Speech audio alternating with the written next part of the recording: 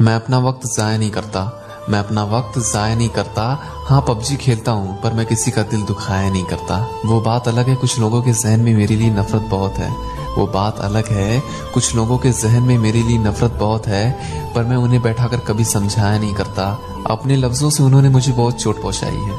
अपने लफ्जों से उन्होंने मुझे बहुत चोट पहुंचाई है।